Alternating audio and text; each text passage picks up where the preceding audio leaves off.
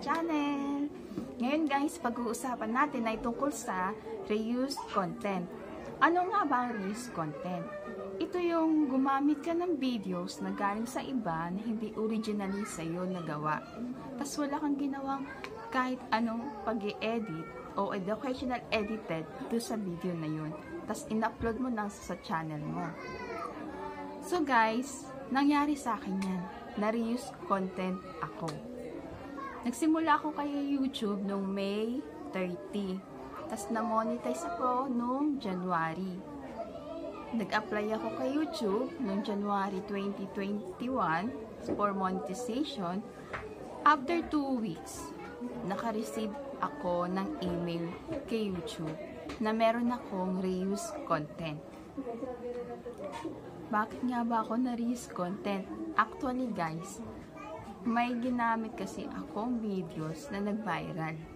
Umabot siya ng 80,000 views. Yung, yung videos na yun, hindi ko originally nagawa. So, music kasi yun guys. So, pinalitan ko lang ng thumbnail, nilagyan ko ng sarili kong description, nilagyan ko ng tags. So, sa tingin ko, yung most viral video ko, yung reused content ko. Kasi guys, si, si YT kasi, nire-review niya yung bago mong videos at yung most viral videos mo kung originally nagawa mo yon. So, sa tingin ko guys, doon ako na-detect ni YT kung bakit ako na-reuse content. So, ang ginawa ko guys, nag-update ako ng videos ko. Lahat ng sa tingin kong reuse content ko, pinalitan ko guys. Ang ginawa ko, pinalitan ko yung title o yung thumbnail, pinalitan ko yung description o yung metadata. Tapos tinirim ko yung video. So halimbawa yung videos mo o yung music na ginawa mo is umabot siya ng 30 minutes, tinirim ko siya up to 1 to 2 minutes. Pinalitan ko yung description. Pinalitan ko rin yung title at yung thumbnail. Marami din ako dinilit na video, guys. Yung mga sa yung mga original na asat, ako talaga hindi sa akin, dinilit ko. Tapos nag-upload ako, guys, ng mga bagong videos para mapalitan yung watch hour na pwedeng mawala sa akin. Para pag nag-apply pa rin ako kay YT, ma-reach ko pa rin yung qualification niya na 4,000 watch hour at 1,000 subscriber. So, ganito yan, guys sa YouTube, sa YouTube Studio, pwede mo din i-edit yung uh, YouTube Studio Editor, pwede mo din i-edit yung mga videos mo na hindi mo na kailangan i-delete. Lalo na yung mga pinakamalaking views. Kasi sayang guys kapag yung pinakamalaking views yung dinilit mo malaking epekto yung sa watch hour mo. So ilalagay ko yung link sa baba para ma-tutorial, may tutorial po kayo kung paano po ang gagawin ng pag-e-edit. Kasi sayang talaga guys kung yung pinakamataas ng bis ang i-delete mo, malaki yung mawawala sa watch hour mo, tapos malaki din yung hahabulin mo. So, yun na nga guys. Nag-apply ulit ako kay YT after ko pong i-update lahat.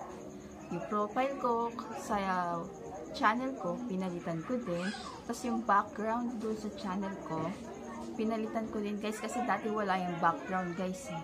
pinalitan ko din yon tapos lahat ng videos na tingin yung reuse content nyo i-update nyo po lahat para makasigurado po tayo sa susunod na pag-a-apply natin kay UIT makapasa tayo so up, nag, ano, after one month kasi bibigyan ka ni YT ng one month para i-update yung channel mo so Nag-apply ako kay YT March 11.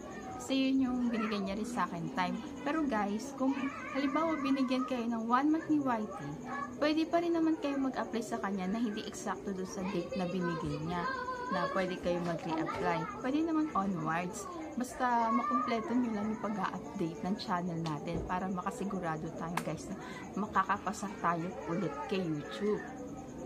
So, nag-apply ulit ako sa kanya, guys, March 11. Tapos, guys, so, inantay ko siya. Gantay ako, nagantay ako ng 7 7 days ang inantay ko, guys. bago ako na-approve. Yung iba kasi madali. Ah, one day, na-approve na kagad sila after nila mag-reapply. Yung iba naman, nag-aantay talaga ng ilang days. So, nag-antay ako, 7 days, na-approve ako guys. Laking tuwa ko talaga guys na na-approve ako ulit. Kasi syempre, di ba guys, pinaghirapan natin yung channel natin. So, may papayo ko lang sa inyo guys. Gumawa tayo ng mga original na content natin. Para maiwasan natin yung mga ganito problema.